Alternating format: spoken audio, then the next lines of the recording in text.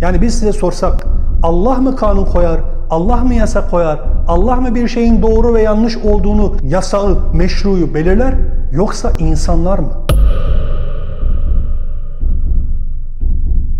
Allah subhanahu ve teala kitabında diyecek ki o hükmünde hiç kimseyi ortak kabul etmez ama sizler diyeceksiniz ki Türkiye Büyük Millet Meclisi hariç. Türkiye Büyük Millet Meclisi'ne gönderdiğimiz vekiller hariç. Bürokratlar hariç. Bu sistem, bu memleket, bu ülke hariç.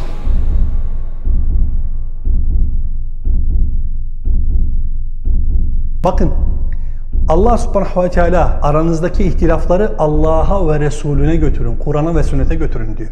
Bugünkü meclise, bugünkü meclisin kanunlarından hiç bahsediyor mu? Türkiye Cumhuriyeti Anayasası denilen içerisinde İsviçreli şeytanların, İtalyalı şeytanların, Almanyalı şeytanların yazdığı, çizdiği, şeytanların da onlara vahyettiği, bugün de bu Türkiye Cumhuriyeti'nde kanun haline gelen anayasayı getiriyorsunuz, Kur'an'ın yanına koyuyorsunuz. Sizler Rab değilsiniz, sizler ilah değilsiniz, sizler Allah filan değilsiniz.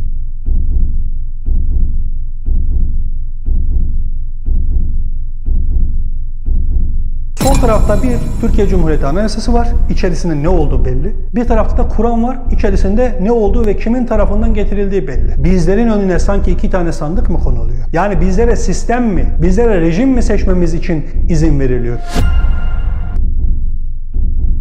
Ey Kılıçdaroğlu sen hiç düşünmüyor musun? Senin demokrasi demokrasi diye insanlara anlattığın, güzel bir şey olarak gösterdiğin şey, laiklik laiklik diye insanlara tanıttığın şey bu topluma sorularak getirilmedi. Bu topluma silahla getirildi. Bu topluma faşizmle getirildi. Bu topluma diktatörlükle getirildi. Hangisinin önüne bir sandık koydular da laikliği mi istiyorsunuz, Allah subhanahu teala'nın şeriatını mı istiyorsunuz diye soruldu. Hadi buna bir cevap verin de sonra insanlara demokrasiden, laiklikten bahsedin.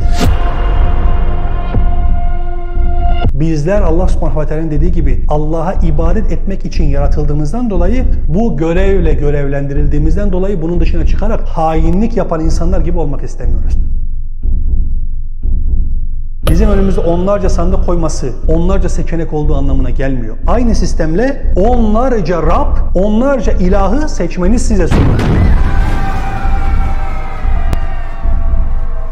Çocuğumuzu bir muvahhid olarak yetiştirmeye çalıştığımızdan dolayı mı suçluyuz size göre? Yani biz bu okullar Allah subhanahu teala'nın kitabına Resulullah sallallahu aleyhi ve sellem sünnetine uymadığını, bu okullarda insanlar müşrik olarak yetiştirildiğini, bu okulların amacının zaten bir insanı kafir olarak yetiştirmek olduğunu kendi kanunlarında ispat etmemize rağmen bizlere mi sapık diyorsunuz? Yoksa siz gidip bu kitapta bu amacı yazan insanlara mı sapık demeniz gerekliydi?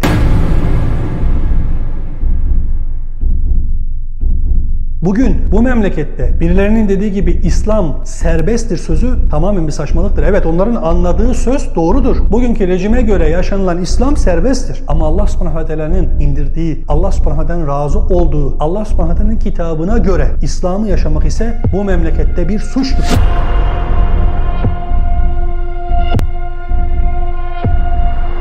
Peygamber ocağı dediğiniz yerde bir zamanlar Allah yoktur, peygamber de tatile gitmiştir diye yazılan yerleri eleştirdiğimizden dolayı mı yanlıştayız? Yahut Allah subhanahu ve teala'nın ilkeleri yerine Mustafa Kemal'in ilkeleri öğretilen yere mi peygamber ocağı diyeceğiz?